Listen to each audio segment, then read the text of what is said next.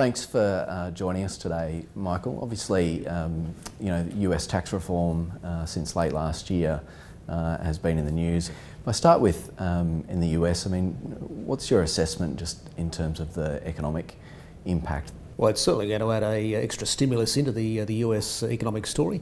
The calculations we've done is this is probably worth about an extra quarter percentage point or so to US uh, economic growth this year and next. So we have seen some US companies respond by saying they're going to increase wages, which will help obviously on the consumer side of the, uh, the equation and uh, certainly some indica indications of extra uh, business capex uh, coming, uh, coming through. The one kind of reservation uh, about this part of the story I think is this is happening at a time when a lot of indicators are saying the US economy is running at close to full capacity. So there is a risk that by adding extra stimulus, maybe what you're really doing is also boosting the, the inflation outlook for, the, for the US economy. What about on the on the fiscal side? Um, you know, the US is obviously already in uh, debt and deficit. Um, does this add any more to the risks on the fiscal side? Do you think? Oh, certainly. I mean, it means the US budget deficit is going to be bigger than uh, it would have been um, otherwise. Uh, it's already a very large um, uh, number. Now, of course, it didn't really have much choice about that. Well, they were very busy bailing out their economies, bailing out their financial systems, so rising government debt uh, was unavoidable. But the issue right now, I suppose, is well, what if something else goes wrong? Is there the same ability to bring fiscal policy into play uh, as there uh, as there was in that earlier uh, earlier time? And the answer is uh, no. We've kind of fired off that uh, that cannon, and uh, we're not really reloading it um, the way we may be with interest rates, with them returning back to, to normal levels. The other issue here, I, I think, to think about is this fiscal stimulus from the US. it'll help their economy for the next couple of years. Uh, it may produce higher interest rates than otherwise in the US. Uh, but that fiscal stimulus will be waning by the time we get into 2020. Certainly positive for the next year or two, uh, but we also need to think about some of those medium-term issues that are, uh, are, coming through as well. So um, you mentioned the, the wages flow through, which is obviously a, a critical uh, point in the current current kind of environment. Certainly, anecdotally, we've seen uh, a number of companies announcing that that they will uh, increase wages.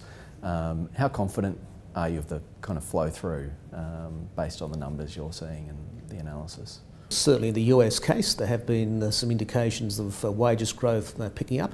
You can see the same thing happening in, in Canada, but you'd have to say the big picture overall is still one of uh, very weak wages growth uh, uh, pretty much everywhere, including, including Australia. Weak wages growth, it's a global problem. It's noticeable uh, the number of central banks that are talking about weak wages growth uh, as, a, uh, as an economic uh, risk. So um, in Australia, uh, we've heard the Governor of the Reserve Bank um, say we should be asking for, for wage rises, an indication of how he sees the risk. What's your assessment in terms of, you know, people have talked about global capital flows changing fundamentally as a result of um, a US lower tax rate.